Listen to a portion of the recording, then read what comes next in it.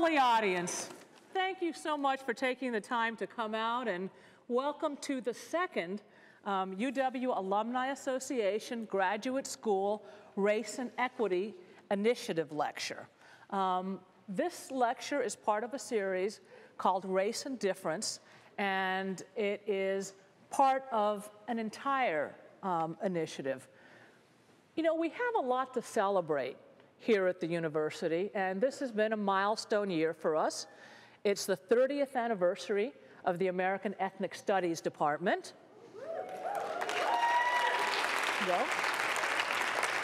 It's the 45th anniversary of GOMAP, the Graduate Opportunity Multicultural Achievement Program. And it's the 45th anniversary of Gender, Women, and Sexuality Studies. Used to be called Women's Studies. And these and other programs really provide a foundation for our ongoing efforts. But, you know, I really, one of my favorite uh, Martin Luther King quotes, and his birthday is tomorrow, we'll celebrate it on Monday, and we have events all week, is that, you know, the arc of the moral universe is long, but it bends towards justice. Um, the fact that these programs now are 30, 45 years old show that we've made some progress. But we have a heck of a lot more work to do. And, and universities, there's no better place to do that work than at universities. Um, I'm not proud of the diversity at this university in that I think we should have a lot more. Um, having said that, this is probably one of the most diverse places that our students will ever be, um, partly because we're so segregated every place else. But we won't really be able to take advantage of what you learn from diversity from being in situations where you share different perspectives and look at things from different angles and deal with difference, as this talk will, if we can't talk across differences. And that's a really hard thing to do. Um, right before the series, um, we were at Wash Labatt, the intellectual house, and if you haven't been there, it's a beautiful place that really feels, you know, warm and, and, and makes it, I think, a lot more possible to be vulnerable with each other. And we were doing a talk. And if I do say so myself, I did a brilliant introduction. Um, I talked about why diversity was important in physics, and you know, and uh, and I was talking about how these conversations, talking about difference, really required us to be vulnerable, regardless of who we were. And um, I said that, you know, for students from majority backgrounds, um, it was hard because sometimes they're not sure about the language and they're scared of committing a microaggression and of, you know, looking stupid and, you know, how do you talk to someone else? And for the students who were not majority students, they're really vulnerable too. They might really get hurt. Someone might say a difficult thing to them and they don't know how to respond. And uh, I went on, but, and then someone about halfway through, I had been kicking it with Ed for a while, um, a young man who was there for the talk comes up to me and says, you know, someone at my table would like you to join us so that we can talk about some of the language you used. And I said, okay.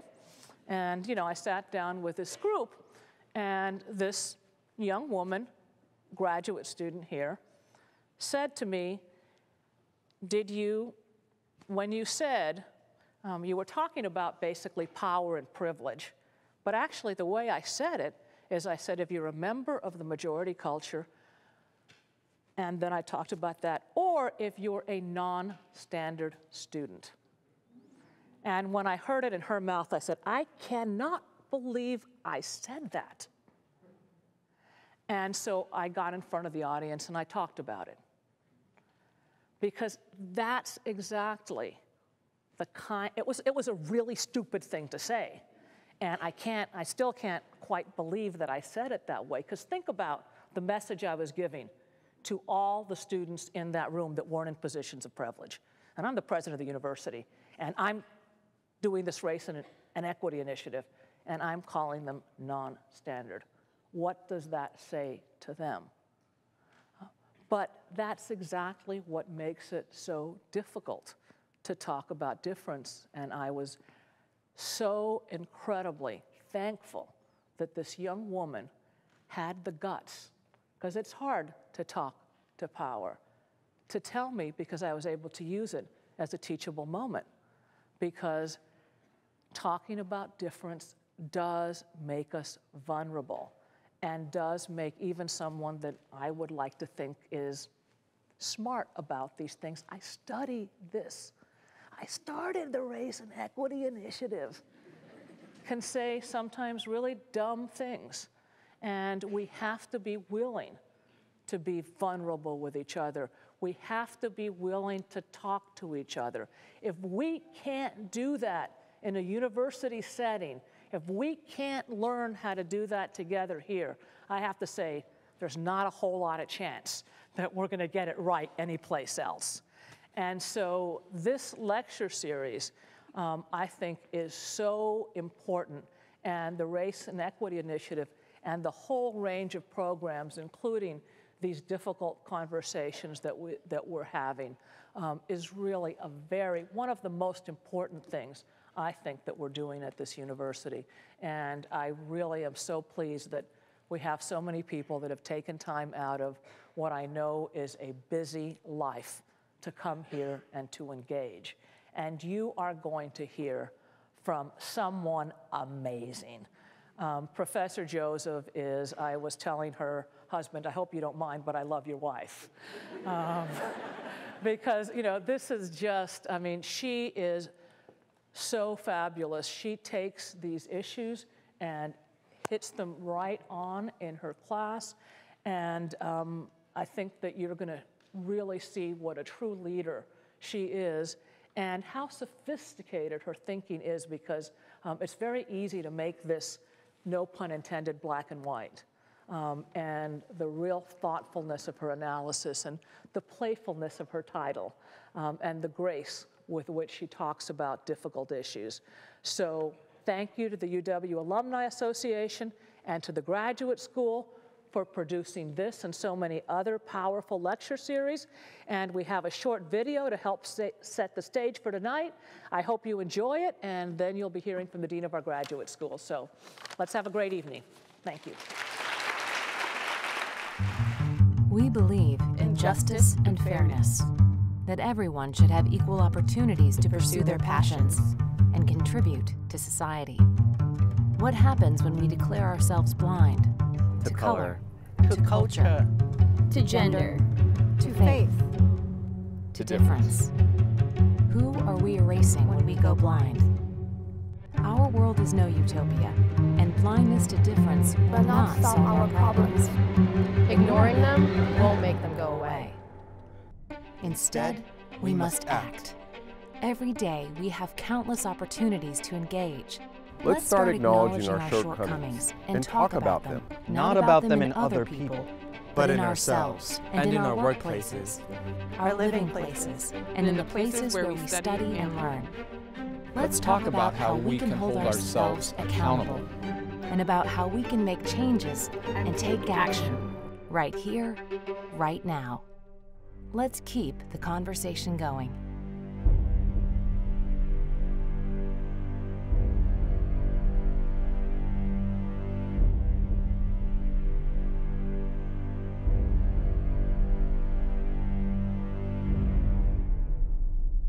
Good evening. I'm Dave Eaton. I'm the Dean of the Graduate School. Thank you very much for joining us this evening. Uh, before we launch into the rest of this, I have the usual reminder to make sure your cell phones are turned off and you can't record this video because KUOW and UW-TV are doing it for you. So make sure that uh, you have your uh, phones turned off and no videotaping. And uh, that's wonderful news because you will be able to come back and look at this again and again on KUOW. Um, the foundation of this digital short that uh, you just uh, saw was inspired by President Cauce's call for a race and equity initiative last spring. Uh, I'd like to take this moment to again thank President Cauce and all those in the administration uh, who have really been visionary leaders and who really care about social justice. So join me in thanking uh, President Cauce, please.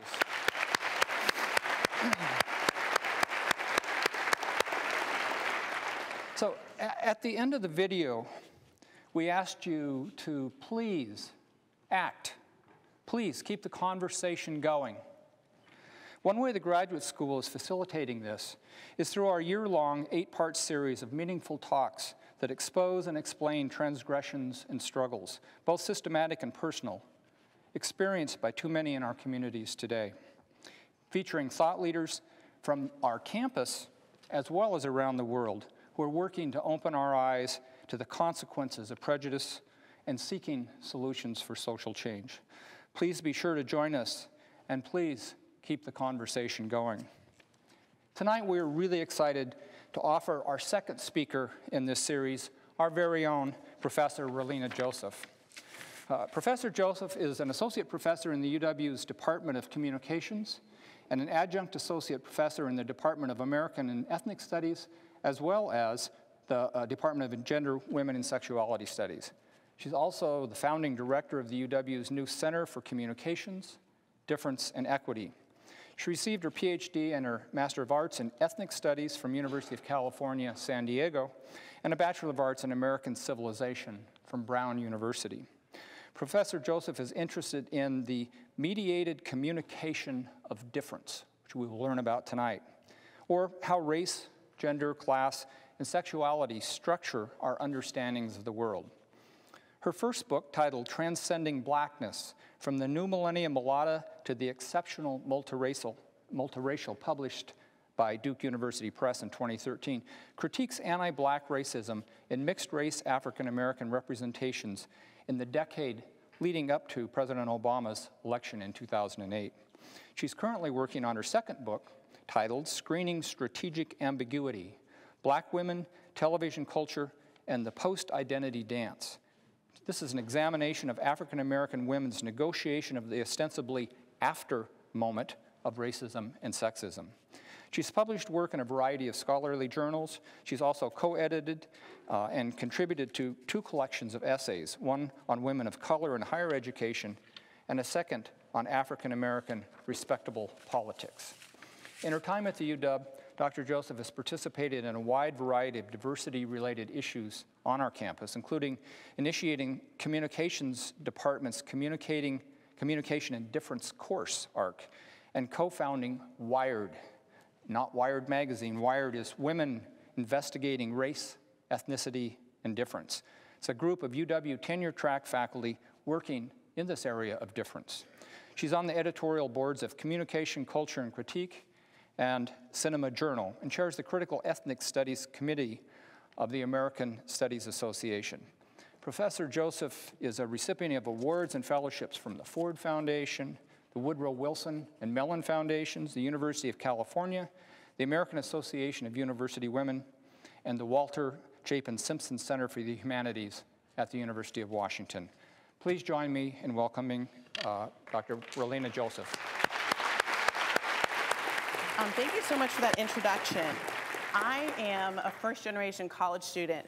And as an undergraduate, I would not have imagined that I would stand up in a lecture hall this size to ask a question, much less be the one at the podium speaking. Um, so thank you all for, for coming here tonight.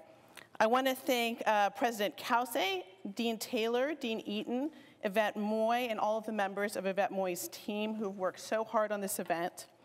Um, thank you to Provost Baldasty for creating my position when he was my department chair so many years ago. This talk emerged from conversations with and feedback from so many of my brilliant UW colleagues. Thank you to Sonnet Retman, Leilani Nishime, Habiba Ibrahim, Sasha Welland, Ileana Rodriguez Silva, Stephanie Smallwood, Michelle Habell Pallán, Christine Harold, Leah Ceccarelli, Janine Jones, Joy Williamson Lott, and Wadia Udell. Thank you to Gina Aftab, the CCDE's program manager, who truly makes everything happen for us, and to all of the CCDE volunteers who are here tonight. Um, a special thanks to Elisa Yamaguchi, who is our Twitter intern and set up our hashtag for any of you all who are tweeting tonight. Um, the, the, hashtag is difference in equity. Um, an extra special thanks to Victoria Thomas, who made the beautiful PowerPoint. Anything that looks wonderful came from her. Any mistakes that you see um, came from me. uh, and finally, and always, thank you to my family, to James, TJ, and Naima. So let's go ahead and get started. Those of us who do social justice work are often cautioned and sometimes even admonished that we need to be mindful of not preaching to the choir. Noting such a sentiment, when Harry Belafonte gave the first talk of this Equity and Difference lecture series in October, he shared a quote of Dr. King's If I don't preach to the choir, then the choir might stop singing. I speak to you today invoking Mr. Belafonte's and Dr. King's spirit. Choirs need fortifying. So thank you to all of the members of the choir who are here, who are here, here to, who have come here tonight. I will most definitely be speaking to you. But also let me talk to those of you who aren't necessarily in the choir, who came here tonight at the urging of a friend or the lure of extra credit points. I see you. To all of you, please understand that not everyone should sing in the choir before they have dedicated themselves to listening, to studying, to training their voices. Some people are born tone deaf and ring flat. Those folks might actually never be uh, destined to lead their voices publicly. Indeed, since they have not practiced the skill of listening, we might cringe to hear them sing. However, even if you aren't destined for the choir right now, with openness, exposure, and study, you can learn to appreciate the music. A note of guidance do not expect members of the choir to be your teachers. Some of us might relish the opportunity to teach you our long developed, hard fought skills, but others might just want you to listen not just hear, but truly listen. And in that listening, you will learn how to provide the essential support the choir needs, and yes, perhaps eventually sing. But before we can sing or listen to the melody, let's hear the dissonance. Or rather, let's hear the difference. And no, I'm not saying the difference and dissonance are the same, but I do think that embracing difference means listening to cacophony in addition to harmony. But I'm getting ahead of myself. Tonight, I'm going to talk with you about this word difference, or as the, the title of my talk promises, what's the difference with difference? We need to carefully consider why and how and where we're using terms that tell us something about race, gender, class, sexuality, and disability, as the umbrella term difference does. But we don't just want to think about our terms in order to use the so called right words. Those of us embroiled in diversity work are often confronted by anxious allies wanting to use the right words. Just tell me what to say. I don't want to get in trouble. African American instead of black, a plural gender neutral pronoun they instead of a singular gendered pronoun he or she, woman instead of girl, or difference instead of diversity. I bristle at this right word question as it seems to seek right words to cover wrong sentiments. And perhaps this isn't fair. Some folks really want to educate themselves to speak and act with honor and respect. But part of that education must be the recognition that minoritized people do not have the responsibility to provide the right words if interest in different people only goes as far as different words. For our language, which names identities, and for minor minoritized people, for whom such language has historically been given, not chosen, our language is our power. Indeed, even the word that I just used, minoritized, spotlights power relations in the construction of the so called minority majority divide. I didn't use the old term minority as I'm not interested in identifying people, uh, people according to their smaller numbers. I used an in process as opposed to a static word to show that those in the group are not smaller in significance or even perhaps in many parts of our country fewer in number, but that they have been constructed as such. Let me give you a second example. In the introduction to the 1998 edition of her canonical 1985 book, Aren't I a Woman? Female Slaves in the Plantation South, Historian Deborah Gray White explains one important change she would make between the different editions a change in language denoting a change in power. White writes, Were I to write Aren't I a Woman today, I would use the verb enslaved rather than the noun slave to implicate the inhumane actions of white people. The noun slave suggests a state of mind and being that is absolute and unmediated by an enslaver. Enslaved says more about what happened to black people without unwittingly describing the sum total of who they were. Enslaved forces us to remember that black men and women were Africans and African Americans before they were forced into slavery and had a new and denigrating identity assigned to them. The linguistic change from an all-encompassing noun to an acted upon verb better captures the way in which the subject position slave only means anything relationally within a system of enslavement. Deborah Gray White's change in language illuminates a change in power. Linguistic changes happen concurrently with historical and political changes, but appropriate language in the absence of other action only helps cover, for example, racism, homophobia, misogyny. So let's listen to equity as we follow difference tonight. Indeed, we cannot have difference without equity, or rather, to iterate difference without equity lays it bare to become co-opted, softened, and stripped of its ability to truly change relations of power. In my talk tonight, after providing you with some definitions, I will look at the difference equity matrix as a successor to the terms diversity, multiculturalism, or tolerance, difference and equity as part of the movement aiming to provide humanity to those of African descent, Black Lives Matter, as opposed to the indifference presented in the All Lives Matter retort. And I'll get into this more later, but I want to underscore the idea that Black Lives Matter is a movement, All Lives Matter is a retort. Lastly, Thank you. Uh, I, I, haven't even gotten to it yet.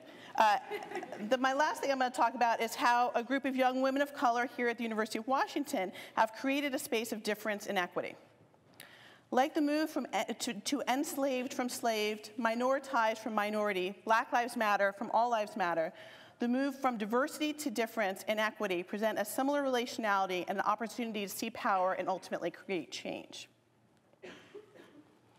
So to make sure that we're all on the same page, let me define our key words here. Um, and first up is equity. While equality means that everyone gets the same resources, opportunity, access, equity means everyone gets what they need. Equity is distributive justice. A popular meme illustrates that equity amounts to fairness while equality amounts to sameness. One organization puts it this way, equity is the means, equality is the outcome. But difference is not as straightforward a word as equity. Difference, the state of being unlike, is a word without an anchor. It means dissimilar, a change, a distinguishing characteristic, a distinction. Difference makes no sense without a landmark, the special addition of a compared to. It has a fluid, decentered nature. Difference is always a word in flux, in the constant state of creation, or as cultural studies scholar Stuart Hall wrote about identity and race, a word of becoming and not simply being. Difference is, in other words, the very expression of minoritized identity. Social psychologists tell us that we know nothing neutrally. What or whom we observe is either interpreted as like us, which often produces in-group favoritism or bias, or dissimilar from us, which produ produces out-group negativity. UW Bothell psychology professor and community psychologist Wadea Udell explains, we view the world and people in reference to our own identities, placing positive values to those whom we perceive as similar and negative values to those who are dissimilar. As difference is gauged as neither neutral nor objective, it's represented as oppositional. Thus, black gains its meaning because it is not its ostensible opposite, white. Female signifies because it is not its ostensible opposite male. Interstitial figures, those mixed race and transgender who cannot or will not pass, and especially those who are ambiguously raced or gendered, cause problems because they destroy our convenient binaries. UW history professor Ileana Rodriguez Silva points out that such binaries are not inherent. They come from Christian Western thought and the practices of colonialism. We live in a society that is profoundly unequal and inequitable. UW sociology professor Hedwig Lee points out that race structures every moment in our lives from our birth, our birth weights, if we are to be preterm versus full term at the time of our birth, indeed, if our infants will survive, to our death, from our life expectancy rates to the number of deaths in our population. If we embrace difference without striving for equity, we create such inequality through forces like All Lives Matter. Without equity, race can appear to be volitional. It happens through choice. It seems to be whitewashed. It springs up through a sanitized version of history where racial progress is on the continual upswing. It's individual. Racialized identity does not happen in community, and it's interchangeable, as race is not about racially specific experiences. But if we read race as difference with equity, as constituted in Black Lives Matter, we see it as ascribed, not volitional, as community, not individual, as historical and structural, not whitewashed, and even as embodied, not interchangeable. Difference, when conjoined with equity, is about access, power, and change.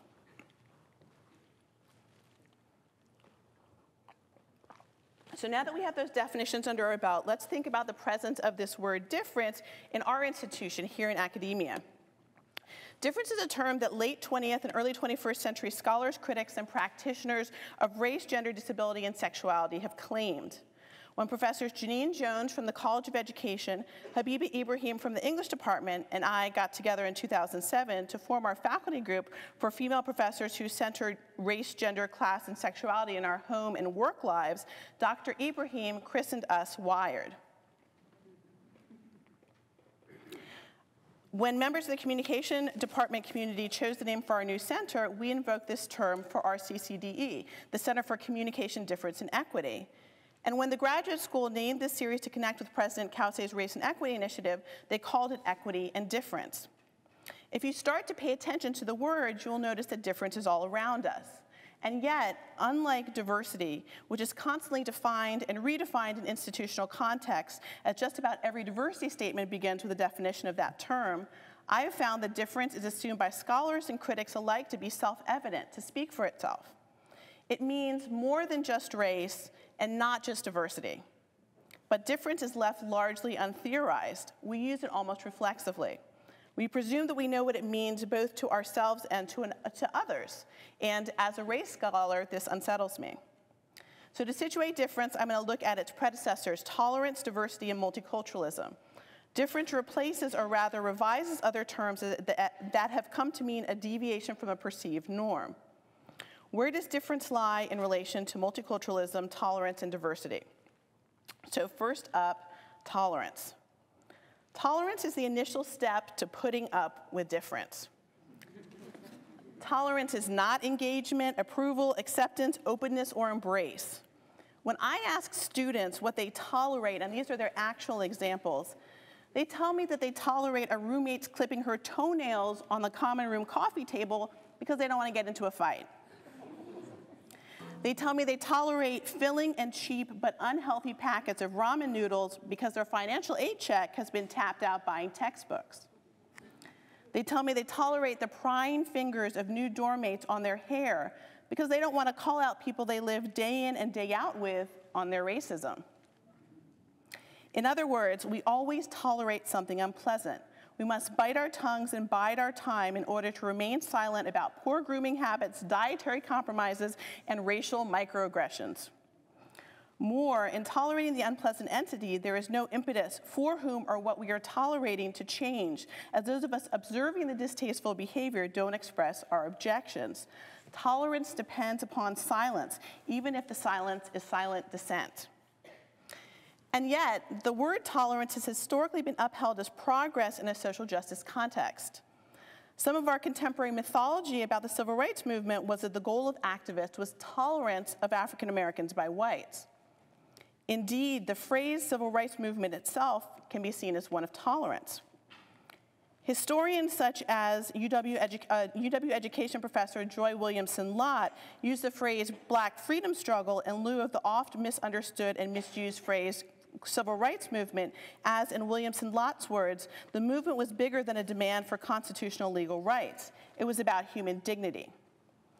In the black freedom struggle's fight for human dig dignity, it's important to note that Dr. King never used the word tolerance. King's goals were far more expansive and intrusive. He demanded a share of this country, the equity that was kept from and continues to elude African Americans. Put another way by critical race scholar Kimberlé Williams Crenshaw, it's not about supplication, it's about power. It's not about asking, it's about demanding. It's not about convincing those who are currently in power, it's about changing the very face of power itself. In other words, changing racial structures of power is never about tolerance. Another predecessor to difference is multiculturalism. Multiculturalism was first used in 1950s Canada to provide a space for both French Canadian and British Canadian cultures. In the United States, multiculturalism initially grew out of, not out of government policy, but as a bottom-up push from the black freedom struggle and subsequent pride movements. But in the university, multiculturalism has taken the strongest hold in the field of education. Christine Sleeter and Peter, McLaren trace multicultural, multicultural education to the concerns of mainly white educator activists for African American st uh, students in the civil rights movement. Sleeter and McLaren describe how the term multicultural education was used rather than racism, quote, so that audiences of white educators would listen. While this tempered approach, one of not naming the truly discordant issue at hand, might have appeared to be a positive initial step, the authors write that because of the erasure of the word racism, many white educators have pulled multicultural education away from social struggles and redefined it to mean the celebration of ethnic foods and festivals. This is not to say that the word is not claimed by scholars who use multiculturalism in a resistant fashion. Education scholars at the UW uphold the area's social justice roots. Education professor Janine Jones defines multiculturalism, quote, as an inclusive construct that recognizes that with each person, coexisting cultures can interrelate and influence each other. Jones's definition, which builds on the work of her UW College of Education colleagues James Banks and Geneva Gay, draws upon students' minoritized cultures as a forms of, in Jones's words, strength and renewal a truly anti-racist move when executed in her research. For example, Jones's latest equity-focused research project uses Sisters of Nia, a cultural enrichment curriculum rooted in Afrocentric principles, in order to cultivate ethnic identity and resilience for African American middle school girls who are fostered in white households. Foster youth have a 48% graduation rate compared to the 72% of non-foster youth in Washington state, and Jones's use of multiculturalism fights to eliminate such disparities. So while tolerance is bandied about in popular discourse and multiculturalism has its home in education departments, diversity is a term that is most used by educations of higher institution, including our own. At the university, does diversity work amount to, as education scholar Sonia Nieto writes, quote, tinkering with the edges of the system to yield few positive results, or does it disrupt, quote, the very center of power? To answer both questions, one must follow diversity to its very definition, and I will go again to our UW con, uh, context. So for a number of years, if you went to uh, the diversity portal of the University of Washington, you would see the word diversity featured in large, bold purple font. Directly next to this word in smaller but equally emphatic wording comes the heart of the university's diversity mission statement. At the University of Washington, diversity is integral to excellence. We value and, and, honor diverse experiences and perspectives, strive to create welcoming and respectful learning environments, and promote access, uh, opportunity, and justice for all. In this proclamation, diversity is not additive or ancillary the, to the academic mission of the university, it's central. The active verbs value, honor, strive, and promote make the claim that the university is a dynamic, conscientious, and hardworking participant in the creation, fostering, and maintenance of diversity. Such strong statements about diversity and minoritized individuals speak back to our affirmative action, anti-affirmative action moment and claim a space for underrepresented minorities at the university despite attempts at legislative hand-tying. Now, I understand diversity statements are aspirational. These are beautiful arias unsullied by discordant equity issues. But how in this resonant song do we insert equity? Where do we account for the fact that our lofty goals fall in the face of our racialized realities? While the numbers of underrepresented minority undergraduates remain small, and these are a couple of years old but not that different from today, these numbers look sizable compared to the numbers of, under, of graduate and professional students, and even more significant when looking at the demographics of the tenure and tenure track faculty. Because of the gap between aspiration and reality, some scholars are skeptical about diversity initiatives creating equity.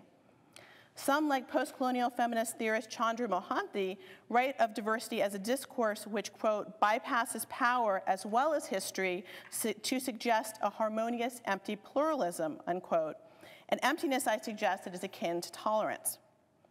An instantiation of Mohanty's critique can be seen in the growing ubiquity of diversity wheels a way to visualize the multiple aspects of our identities. In the wrong hands, taught as difference without equity, identity can be imagined as a Wheel of Fortune style spinner where what one performs simply depends on the spin. Is it time for race? Is it time for gender? this one from the Coast Guard puts personality at the very center. There is no consideration of oppression or privilege, or history or structure, as all things are weighted equally. The term difference comes next in our genealogy, but I don't want to present it as a panacea. The use of a new term in and of itself doesn't create a new song for us.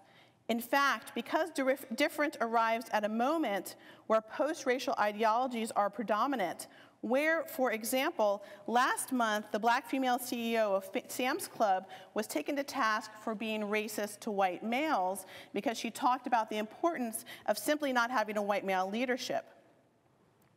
In this example of racial indifference, history and power are ignored to focus solely on individuals, and individual white men pitted against this black woman. Without equity, this is indeed what difference could become. When I teach difference, I present it like diversity as an aspirational word, but unlike diversity, I present it as something inseparable from equity. Difference and equity create change and do not simply avoid offense. In fact, suturing difference to equity means that you might just offend. In my definition, difference embraces the qualities of connection and pride from multiculturalism, along with the realities of intersectional identities, power, and privilege. Difference with equity means these things to me because I understand it relationally.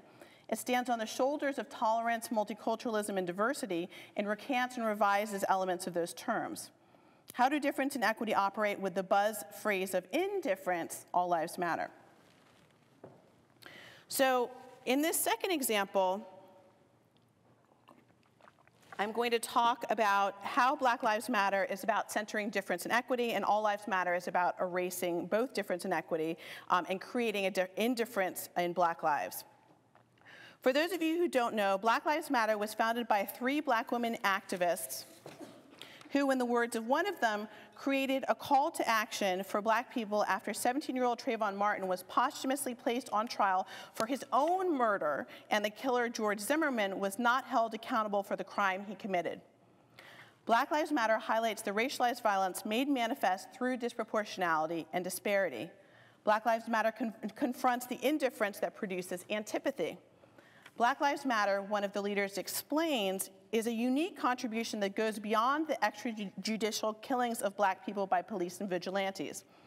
Black Lives Matter affirms the lives of black queer and trans folks, disabled folks, black undocumented folks, folks with records, women, and all black lives along the gender spectrum. It centers those who, that have been marginalized within black liberation movements. It is a tactic to rebuild the black liberation movement. So I teased you with this earlier All Lives Matter emerged as a retort to Black Lives Matter, an attempted cover up to the very real violence against black lives recorded by cell phones, disseminated through social media, and made real to the mainstream through popular media. So I want to underscore this idea that the rallying cry, All Lives Matter, is a retort, an angry response. It's not a movement analogous to Black Lives Matter, but a silencing strategy that aims to end discussion about racialized violence. All Lives Matter gets stuck on language, having the audacity to name and claim black, which I do understand feels exclusionary to some under the aegis of a movement.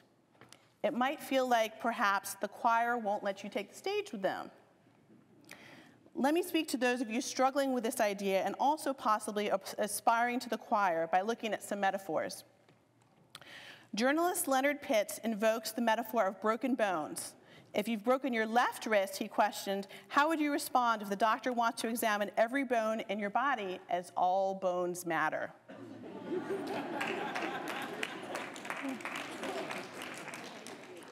Writer Jamila King's metaphor is of food. What if your family sits down to dinner and your plate is skipped? Your request to get my fair share is met by your father's response everyone should get their fair share, and yet the platters never get passed to you. A contributor to the Daily Kos uses the metaphor of a neighbor's house catching fire. When the neighbor runs out to ask for help, another neighbor responds, Why should her house get more attention than mine? I need a new roof. Another responds, look at that rude woman yelling and screaming, I'm entertaining guests.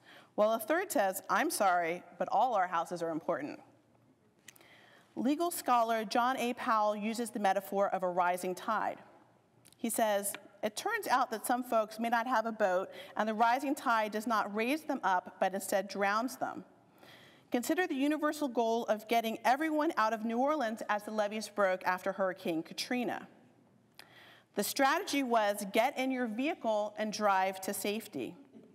But as it turned out, many people, a disproportionate many of whom were African American, did not have cars.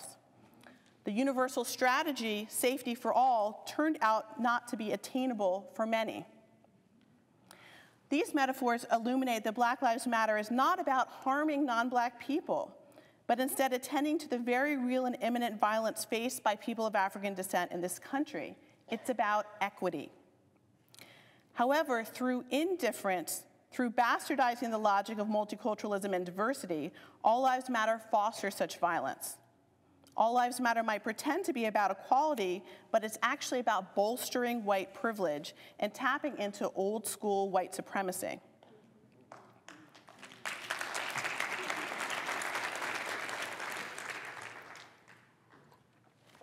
A deep understanding of such disparities empowers student activists to take up the mantle of Black Lives Matter to protest not only the murders of black men and women nationwide, but also the racialized violence and injustice locally, including on their own campuses.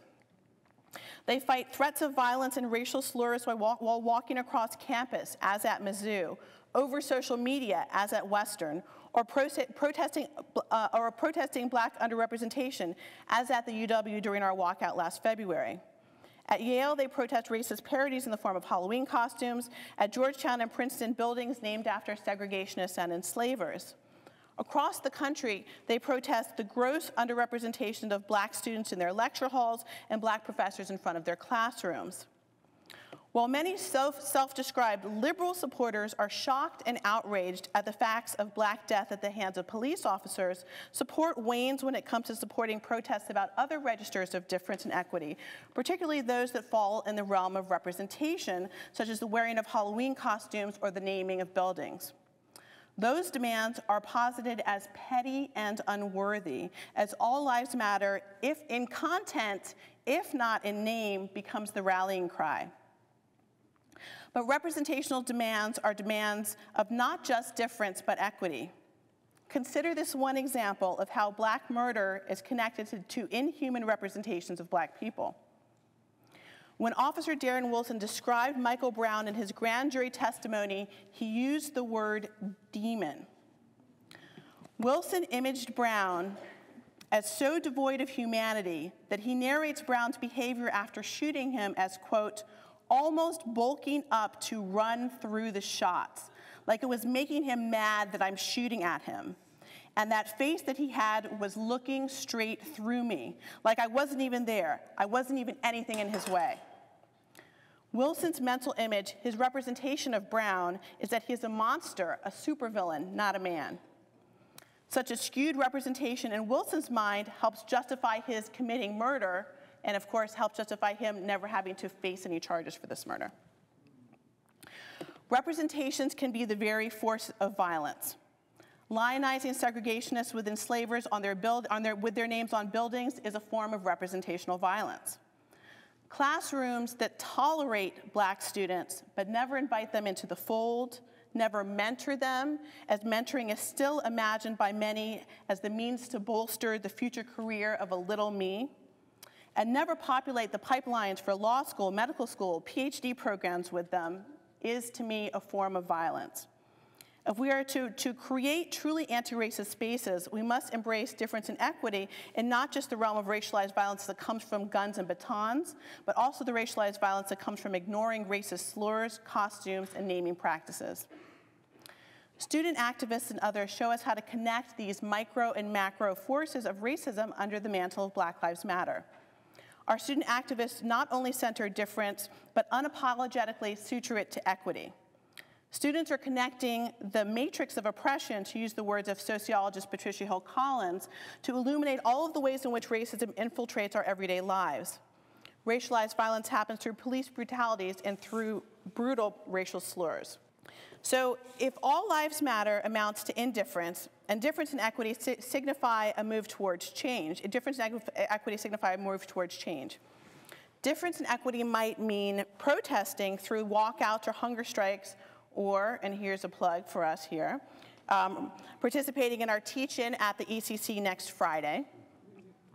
Difference in equity might also mean consciously creating spaces of critique with a group of friends, which is the final portion of my talk tonight. This example comes from the last book of my new book, in, uh, last chapter rather, of my new book in progress, Screening Strategic Ambiguity, Reading Black Female Resistance to the Post-Racial Lie. So in the spring of 2009, I conducted a small audience study with nine young women of color in their late teens and early 20s who were training to be teachers, writers, dancers, scientists, and activists. We watched a season of their favorite television show at the time, the modeling competition reality program America's Next Top Model. Our sessions illustrated the very real ways, real life ways that, the groups, that groups can come together to foster conscious critique, to stake a claim for themselves in a racist and sexist world, and to provide themselves with the tools to live both difference and equity. At our gatherings, the women spoke, often spoke in an easy, relaxed, uh, and familiar manner, characteristic of what sociolinguist and UW professor of French and Italian studies, Maya Angela Smith, describes as, quote, a racialized narrative in which they cut each other off, spoke over each other, and repeated each other. So let me set the scene for the time period of our viewing session, the spring of 2009, and let me also hear, let you hear some of the women's voices. This group of young women were buzzed about, about pop star Rihanna's brutal beating by her boyfriend and then musician Chris Brown, and the media's will she or won't she go back to him debate. They exclaimed, as Vanessa did, that there is nothing that she could have done except killed his mama to deserve to get her ass beat like that, as well as puzzled like Valentina, but I'm saying, what are you doing going back to him? Like the rest of the country, they scrutinized the media coverage of football player Michael Vick's dogfighting and called out the racialized double standard of the outrage of the killing of dogs, but not the murder of African Americans. McCall noted, the media completely turned on Vick, and, and Mickey agreed, adding, I know dogfighting's bad. Like, totally, I get it, but they treated him like he had serial murdered somebody. They commiserated about their hunger for and paucity of images of women of color in the media and shared their experience of having the excitement about Beyonce's gracing the cover of Vogue turn to frustration when, as Camille put it, and so I'm like, okay, I'm literally buying this magazine just because Beyonce's on the cover. But when I flipped through the magazine, there were no other people of color, and they were just like stick figures, white blonde women. All of the women were constantly on the hunt for images of women of color, and all of the women maintained a powerful critique of racialized patriarchy.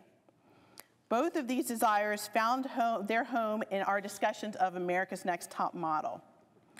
While the show itself drew them in week after week, the show's host, supermodel Tyra Banks, roused their unmitigated disgust. They hate watched her.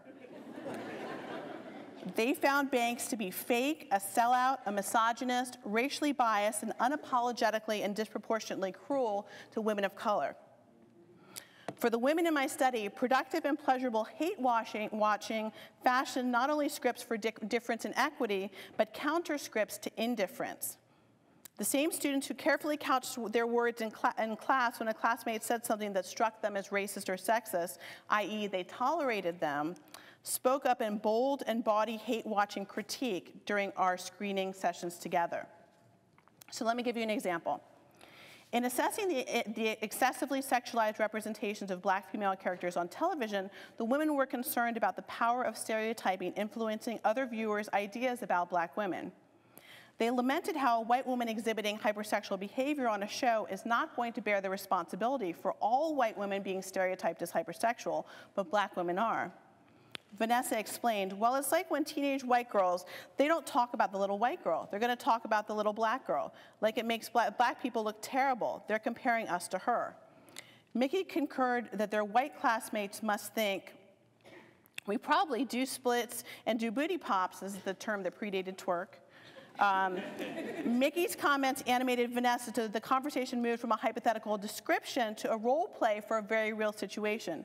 Vanessa positioned herself as Mickey, responding to an imaginary white classmate choosing a first person address. She says, I'm like, no, but I'm still black. Booty? Like, what's booty pop? Can you define booty pop? to interrupt racism, a person can feign ignorance to the controlling image and ask for elaboration. A strategy like the one Vanessa offers up forces an individual who has made a racist remark have to awkwardly define and explain use of the stereotype that might have mindlessly slipped out. In the resistance space of their viewing session, the women validated their own experiences of racism by cataloging all the stereotypes they had been asked and refuting the stereotypes by imagining themselves saying, What are you talking about? Yeah, I can't help you there, pal, and no. They repeated, I don't and I can't, which equal refusal to participate in pretending that racism, even coded post-racial racism, didn't exist. So from this lively interaction, the women moved to a quieter, slower reflection. Jen said, it's funny, because like we're kidding, but like I've had almost all of these questions asked to me, and all the dashes denote this overlapping conversation. Mickey says, someone asked if you could booty pop. Jen says, they asked me that, and I didn't know what it was. They used a different word, but they were explaining what women do in some of the videos when they like lean on the car. And I was like, I don't even know why you're asking me. And it was like, no, I can't. And then the next question was, well, do black guys like that?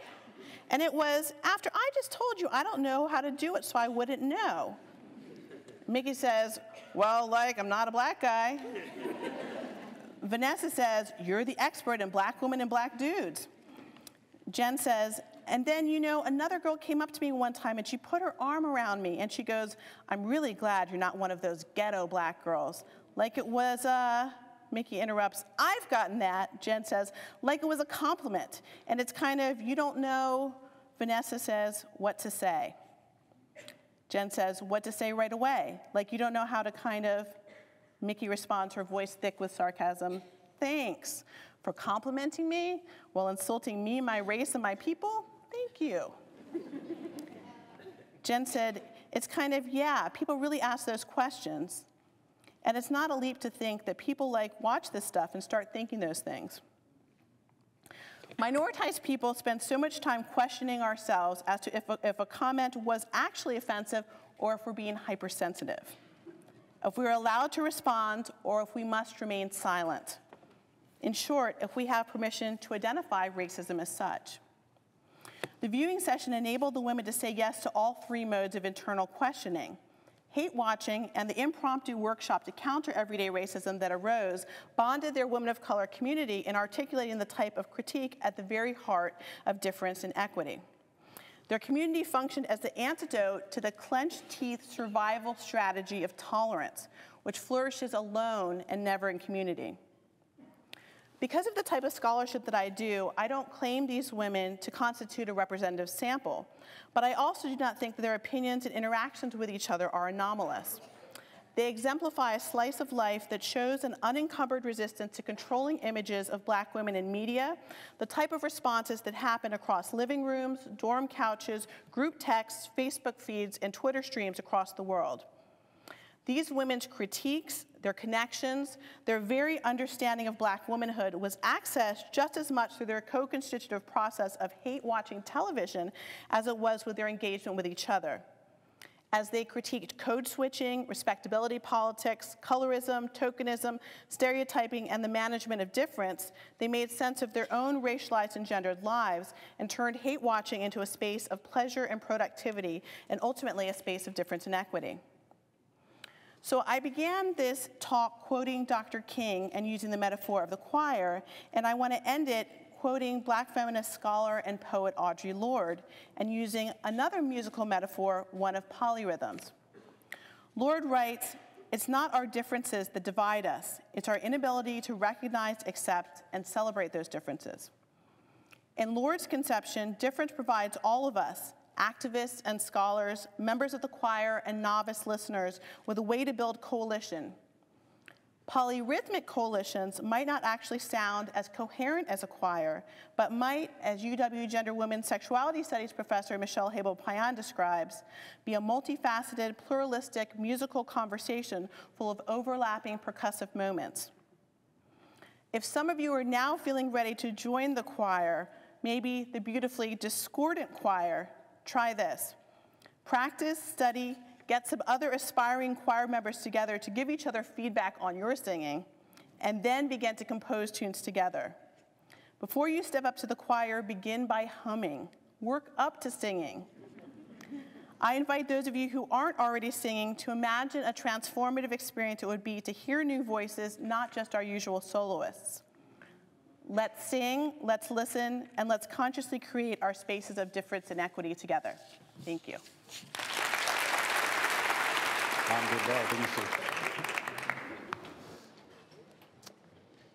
I'm Ed Taylor, um, Dean of Undergraduate Academic Affairs.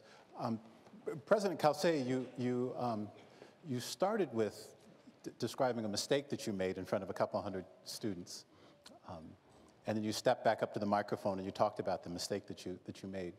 Um, and, and I was there. What was interesting about what happened was um, you started a conversation and you stayed in the room to actually hear what happened in the conversation, which was really unique and different as presidents go, who usually sneak out the back door when they start a conversation. So I just want to thank you for actually staying in the conversation.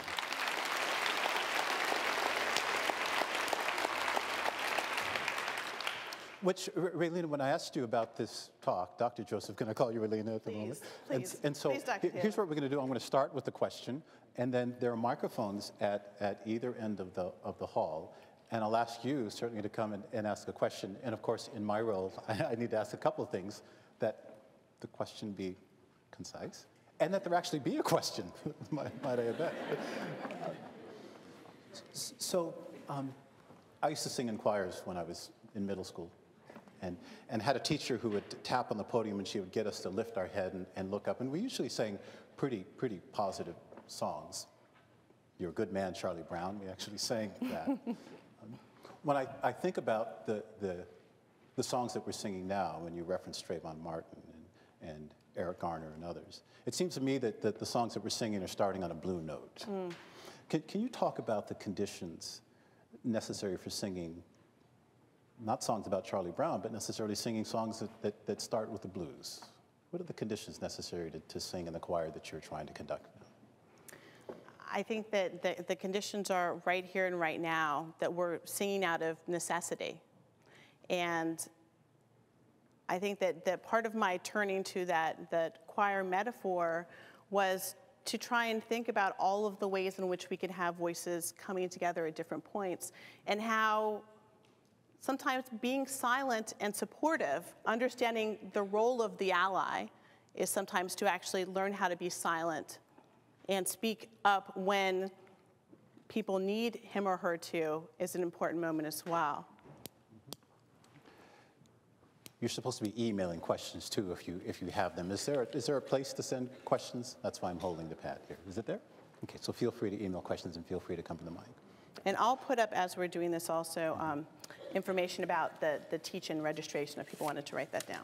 We have a question here, but one second. So when I, when I, I read your talk, and, and I asked you what something, what important message did you want to deliver? And you delivered so many important messages. But the first thing you said was the importance of listening and hearing. Is there a distinction between listening and hearing that you want to make? And why did you start with listening as being so critical to your talk? Yeah, absolutely. I think that uh, sometimes listening is about um, getting ready for that response, that retort right away, right? It's like, okay, okay, okay, okay, I'm, I'm, i need to get to the point where I need to make my statement.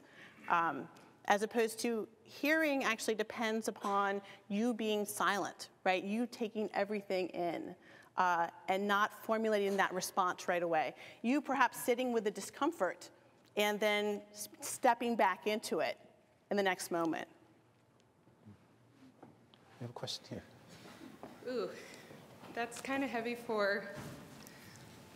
I'm, I'm not sure if folks can hear me or not. Um, it's kind of heavy as a woman of, of color to hear that I have to learn how to be silent when I feel like all of my life I've been taught or coerced into being silent. And so I want to I want to know how instead of learning how to productively be silent, how to actually productively work with my allies and have them know that my voice is important, even if I can't stand in front of a podium and I have to be in the audience instead? How is it that I can actually have a voice while sitting in the audience and having a white counterpart speak towards racial equity and social justice yeah. and be the expert on it? I'm supposed to, one of us thank is supposed you. to repeat the question. Yeah. Mm-hmm. That was pretty clear.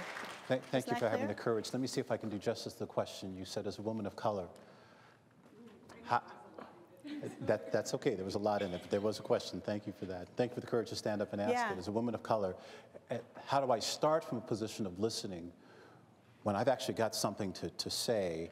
And you also invoke the role of, of white allies in, in this, and the relationship between you as a woman of color and, and white allies, and the role, and you're asked to listen so much and to hear so much and, and to invoke the relationship between mm-hmm. the two of those. Really, did that come? Yeah, yeah, thank you. Um, I, am supposed to, I want to walk over there and I'm supposed to stand by this mic, so apologies for that.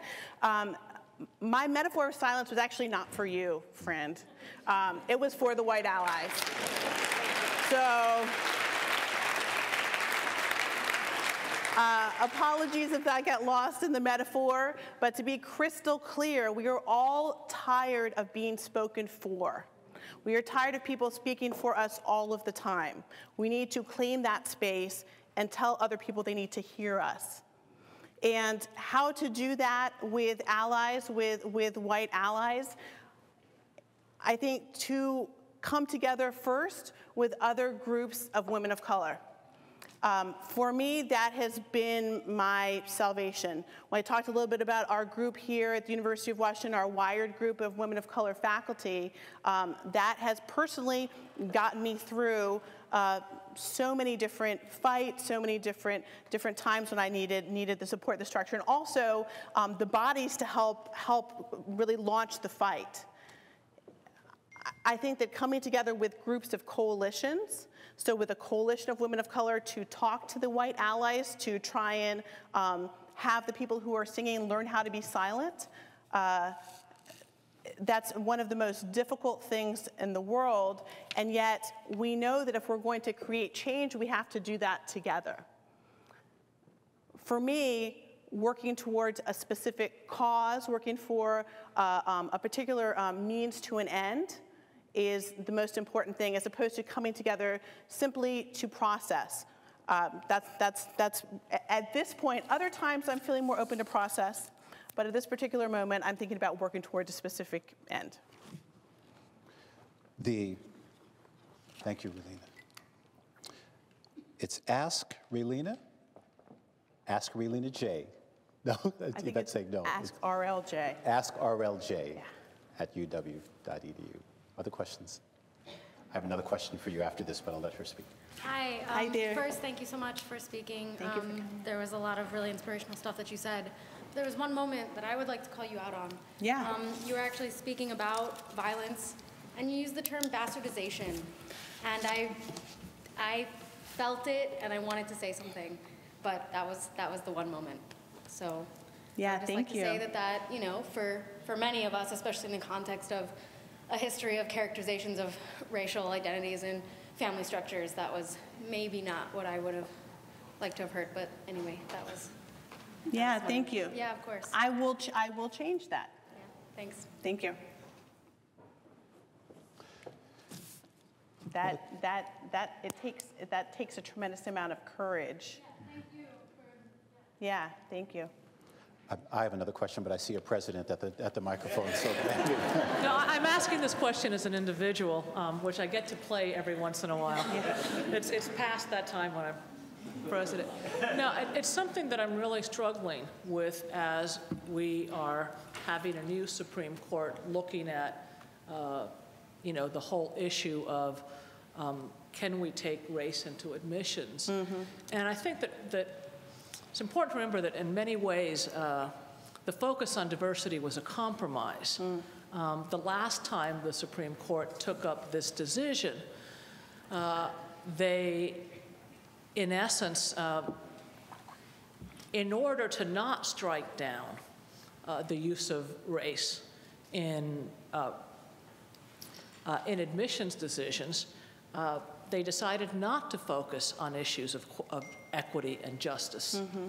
And on the fact that not everyone had an equal footing. And in fact, so what they did was that the reason why we could use it in places outside of this particular university, because we're an I-200 state, but in private schools or in mm-hmm. other, mm-hmm. was that they focused on diversity um, because that was good for all of us, not mm-hmm. for the black and brown students. Right. And so I believe absolutely with all my heart in diversity, but feel it's kind of got us into a box. And I'm just mm-hmm. wondering, how do we work our way out of the fact that it's not just about this is good for all of us, Yeah. although it is, but that there are some inequities? Mm-hmm. Yeah. I, I, I mean, my, my, my first answer to that is we have to dismantle I-200. Yeah, I'm, I'm with you on First and that. foremost. Um, That, that, that it's clearly uh, a- a- an experiment that has not worked, that's only worked to resegregate our schools. Um, So that, that would be my first, my first answer. Um, And I agree with you 100% about, about diversity. Uh, One of the things that I do with my students is that we, we look at on the web how diversity is written about. And it's almost always talked about for white students, right? Or as Ta-Nehisi Coates would say, as people who believe themselves to be white, right? So it's about the, the, the use value of sitting next to um, the multi-hued students, right? And then taking that out often into the business world. And it's never about these issues of, of disproportionality. And so I think that one of the first things that people need to understand, as you know, as I put up some of Hetty Lee's work there, is that when we're talking about inequality, we have to understand that it saturates every area of our lives, and racialized inequality saturates every area of our lives. If we think about going for a home loan, if we think about going for, for any type of an education from preschool, from disproportionate punishment of preschool students, all the way up through, through high school graduation rates, right? We know that black and brown kids are, are disproportionately the ones who are punished, who are not, who are not the ones who are rising to the top. And this is not an accident. And so we need to have things um, like I-200 dismantled so that we can deal with the very real inequality that, that works its way through every aspect of our lives. There's a comment, um, Ralina, at askrlj at uw.edu. There's a hint for you. This is just a note, as a musician and singer and white ally, I would observe that rests, periods of silence, are part of the music. Mm. Mm-hmm. Thank you. That's great. Please. Can y'all hear me? Yep.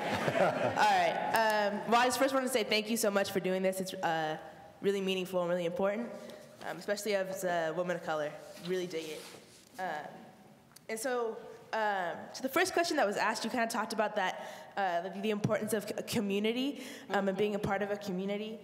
Um, and as a black student on campus, right, there's a thousand of us, so I feel like that community is really important. But I was wondering if you had any ideas on how to build that community um, because it is so important. But since we're also spread out and there's yeah. so few of us, it is hard to create that community. Yeah. Yeah, thank you. you repeat the question? Oh, do so, you want to repeat it? You want me to What, Mariam, you're asking about how do you, as you one of a thousand black students, and smaller number of black, uh-huh, there's the choir, right? Um, how, how do we create and, and find community with each other? Yeah, thank you. Um, that was, I mean, that's, that's, that's all the, the, the part, my, my research study, that was all about this, this group of young, um, young women of color who created community here together. And an interesting thing about that group, so I had, um, just to give you a little bit of background, then I'll go to your question. So um, I, was, I was teaching in class, I had, you know, a number of students that always like to come up and talk to me afterwards about issues of representation, and especially black women in representation. And so two of them I started talking to more, we decided to do this group together, and they said, yeah, I'm gonna go, we're gonna go find friends, we're going to bring people in.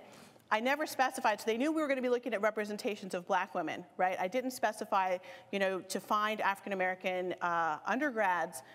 The first session they came, and it was this, uh, you know, primarily African American group, but it was actually a multiracial group of other women of color.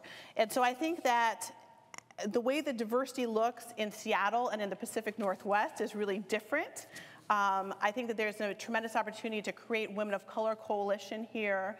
Um, and taking advantage of all of the wonderful resources on campus. Um, I can plug our CCDE, uh, all of the different different events that we have um, to bring students together. Um, our, I know that the, the ECC, uh, RSO, the Registered Student, Student Organizations, also foster tremendous community, and the space of the ECC itself um, is, is just a wonderful home. Uh, but, but I think that, that showing up together constantly um, for things and, and working on making, making the community, and, and to me, and, you know, I'm, I'm getting older, but I think that the face to face element is so key. That not just maintaining the Facebook group and tweeting each other, but actually physically seeing each other, being physically together when you're used to spaces not being welcoming to you. So to be able to face those spaces in community, I think is really, um, is really necessary to kind of, to, to give you the reserves, to build up your reserves to get you through um, what can feel like a, a racist university. So here, here I'm, I'm, going to read this question yeah. to you as, as is, and, okay. and, and hear the depth of the, of the question. I won't mention who wrote it. I'll, I'll, okay. um, I was born into the choir by my black father, but my white mother taught me just to sit and listen. Today, people tell me I have a beautiful voice, but I'm mm. afraid to sing. Mm. I do in private, but my fear of sounding terribly of ruining the song the choir sings literally paralyzes me.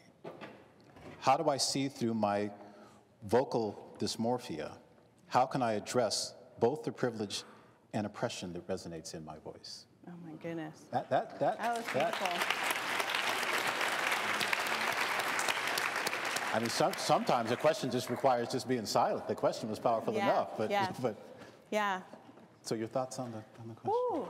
Mm-hmm. That was beautiful. Um, if you just want to end on I that think, note, no, okay. I, I, do. I mean, I, I, I go back to, to community again. I go back to thinking about not singing in, in isolation, right? Of thinking about the small group that you might create in order to sing together, to practice together. Um, and I think that, that that that is what gives people strength so here's, here's I'm just going to read the question oh, again. Okay. Can, can you, uh, which is a preface to saying it's a powerful question, can you share about the role of love? I, I, first of all, I love this community that you ask questions about this. Can you share about the role of love, the verb, in building power amongst those of us who have been minoritized? I ask this in thinking about the remarks, responses, where you missed the mark on language. What is support solidarity, and what is not that, sent from a tiny computing device. Wow. Mm-hmm. Wow.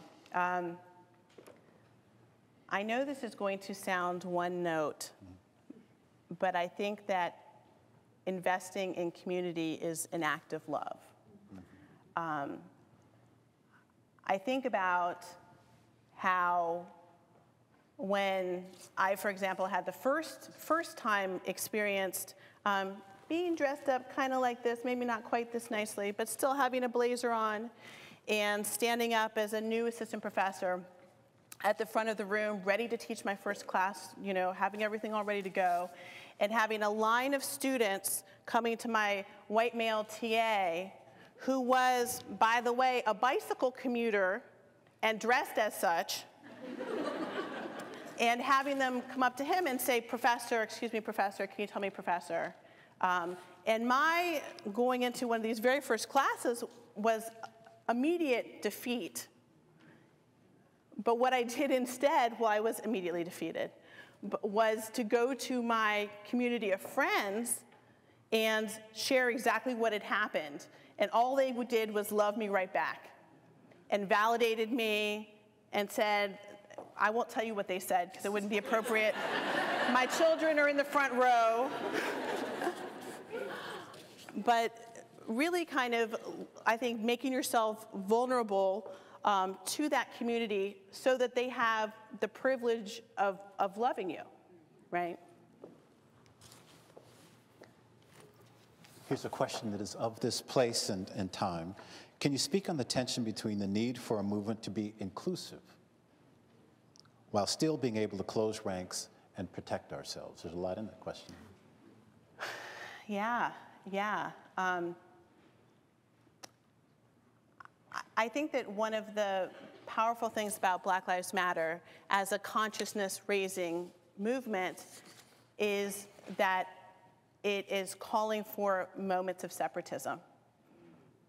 Our students, for example, during the walkout this last February, got together and made physical circles of black students where they were physically together. They called for the black undergraduates, and that was, they were at the very center of the space. And I think that that is incredibly important. Questions from you. Please, Hi, I've been a part of the racial equity dialogue so far this year, and I plan, plan on continuing. And a question that I have is um, whether this initiative that the university is um, sponsoring thus far is an All Lives Matter racial equity initiative or a Black Lives Matter racial equity initiative. And I'm wondering if you have any insight on how we as UW students and participants in this initiative can tell the difference? Well, I think Dr. Taylor is head of that committee.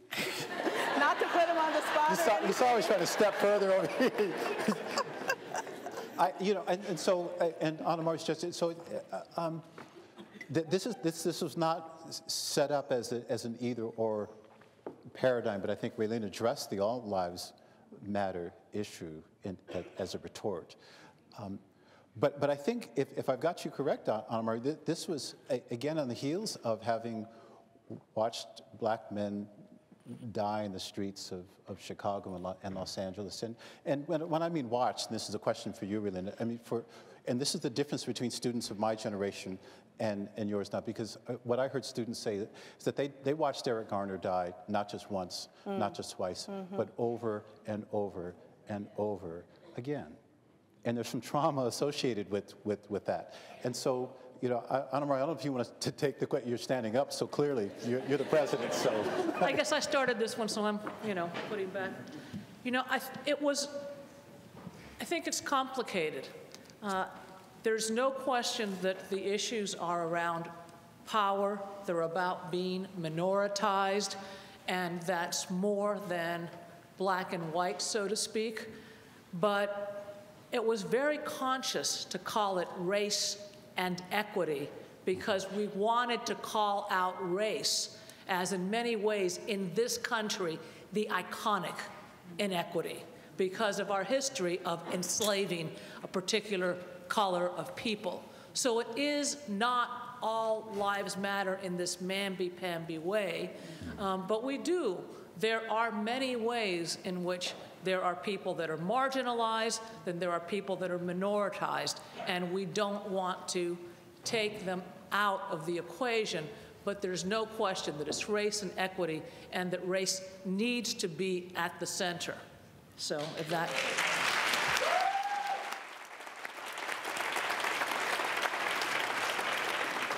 That's, that's exactly what I was going to say, but she said it. She, got most of it right, yeah. Go ahead. Uh, hi, I am an undergrad in the uh, Early Childhood and Family Studies major. Um, and I definitely think that we as adults in this community heavily influence the um, ideas that children grow up with and how we show them how to be as adults in this country. Um, and so my question is um, how, how in early childhood can we begin to address um, equity, equality, and diversity in meaningful ways um, to help you know these kids i feel like a lot of these questions and a lot of these talks that we have we have as adults and we have them mm-hmm. um, after we've already had a lot of experiences and how do we start having those conversations with mm-hmm. children before they become damaged by these things? Thank you. Thank you. Um, well, one I think is first about about access. So to to get those young children into high quality, high caliber preschools, because um, we know there's a, that there's a huge amount of disproportionality of kids who are in have access to those preschools and kids who simply do not. So making sure that everyone can have the opportunity they can have those conversations. Um, and then one thing is, I think, fighting the desire for colorblindness that some folks, I won't name any names, that, that some folks tend to have, right? That somehow it is, um, it's a dirty word to, to identify another child, another adult on the basis of race or ethnicity. Uh, we, we see this all the time, right, with educators, I think, of, of young children, or I certainly saw it, you know, when, when my kids were, were in preschool, um, in elementary school. And so kids from an early age learn that it's taboo to even name race. So why should they engage in any conversations of difference when they're told, no, that's Sally over there. Who's Sally? Oh, you know, with the green backpack on and she's got the barrettes, right? You know Sally. Um, but, you know, God forbid someone point out that Sally's Asian American, right? And what, is that, and what does that do then to our conception of what it means to be Asian American when it is a taboo word, right? Coates said he started talking to his son about race at the moment his son could hold his head up. He started talking mm. right at the point that he could listen. Mm-hmm. John Fasten. Mm-hmm. Yeah. Hi. Hi, Dr. Joseph. Thank you for inviting me, and thank you for including the words of those young women, especially Vanessa, who is very special to me, oh, as you know. Vanessa's dad. My participants all chose not to have pseudonyms. I actually tried to talk them into it a couple of times, and they all were, I, I shared all of my work with them, and they said, no, we want our names. And so, yes. Yeah. Uh, my question has to do with the, your, your correct statement that all lives matter is, is reactive. Mm. And it is, uh, it's a manifestation, in my opinion, of, of guilt mm-hmm. and mm-hmm. an attempt to avoid some of these issues. Mm. Because the flip side of unearned privilege, of white privilege, is guilt, mm. I think. Now, when we're trying to engage in these conversations, therefore, you know, you talked about make them hear you. I love that. And mm. there's a song about that, by the way, called Make Them Hear You. Mm. But it's hard to make somebody hear you when they're dealing with their own guilt. Mm-hmm. Now, um, we have two choices in that case. We can either try to help them with that, mm-hmm. but many uh, people of color don't feel that we have any obligation to help somebody else with their own guilt. Mm-hmm. But on the other hand, if we don't, then we can't, we won't have a dialog mm-hmm. So, do you have any strategies for dealing with that dilemma? Yeah. I think the strategy is that white people need to step up and talk to each other. that white people white people don't need to have conversations about race that are always facilitated by people of color. And people of color don't need to be in the room. In fact, we shouldn't be in the room a lot of times, right? They should have those conversations together and they should cry together and they should feel guilty together and they should come and figure out what that coalition looks like together, but leave us out of it sometimes. So I think that we can't, we can't solve that, that issue of guilt. I think that they need to, to, to figure out how to do that together. So we're running short of time, but, I want, but perhaps we can do this. Maybe what we can do, Ralina, is we've got two questions here, and, I've got two questions here. Maybe we can just hear the questions, and, and then you can close in response to whatever it is that you hear from these questions. So, so please. You had mentioned the University of Missouri, how the walkout of the football team uh, ultimately had implications on the, the president of the university. How do we engage in these, these uh, marches and these walkouts and actually go from a progression standpoint? And how do we actually progress and uh, resolve these inequalities? So University of Missouri football team refuses to play around issues of race in Missouri. And how do we, what was the last part of the question? Well, there, there, are economic implications with that, and that's how the president mm-hmm. right. ultimately resigned. But how do we go from these marches, these Black Lives Matter marches, and these walkouts to actually having progression with these racial inequalities that are happening mm. throughout right. the world? Right. Mm. Thank you. Do you want to, let's go to that question too, and let's hear them both. Hi, I emailed a portion of this question, but I'll just say it now. Um, so I want to go back to your metaphor about the choir, and I want to speak about some of us in the choir who sing on stage and some who sing in the streets, um, in places we're not supposed to sing.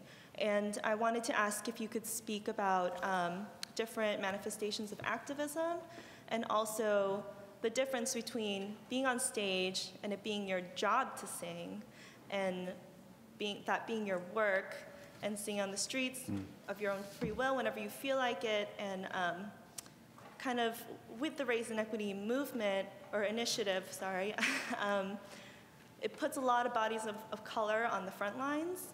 Um, so i wonder if you could just talk about that want to respond? Do you want to hear a couple more questions? Uh, th there is so much in both of those. Um, uh, so, so, so the, the first young man was talking about um, how, do, how do we go from, from protest to change? It seems like that's what, what, what I'm, I'm hearing there. And um, the young woman who just came up, who I, I, I didn't track, where are you? Okay. um, thinking about how, how, how do we create the spaces to, to sing, to, um, eh, to insert our anti-racist critiques, right? Even if it's not, not our job to be uh, up here doing that. Um, and th this is uh, the the second one is easier than your question. Um, they're both very difficult, uh, but in terms of how to find those spaces, this is something that I talk with my students about all the time, that, that we're always um, confronted by inequality, um, and we have to figure out the ways to step into the, the discomfort.